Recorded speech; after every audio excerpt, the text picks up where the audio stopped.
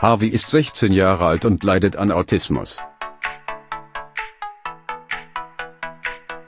Er ist das älteste Kind von Katie Price und durch einen unterentwickelten Sehnerv blind.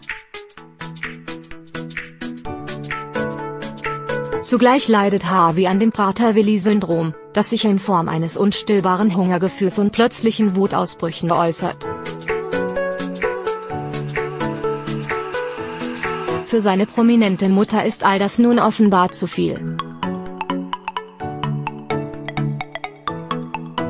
Er ist mein Leben.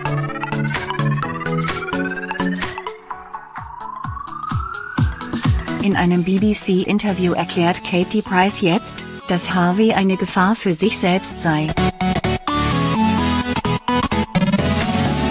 Gerade der Alltag sei schwierig,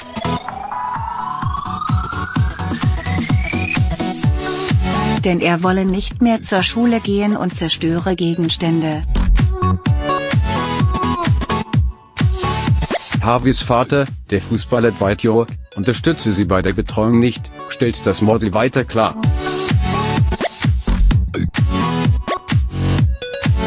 Katie Price hat mit dem 13-jährigen Junior, der 11-jährigen Princess, dem 5-jährigen Jet und der 4-jährigen Bunny vier weitere Kinder, die Angst vor ihrem großen Bruder haben. Umso schwieriger ist die Situation der Familie.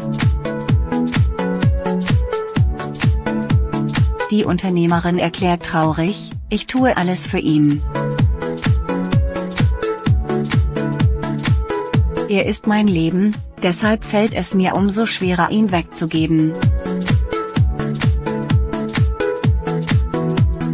Aber es ist das Beste für ihn.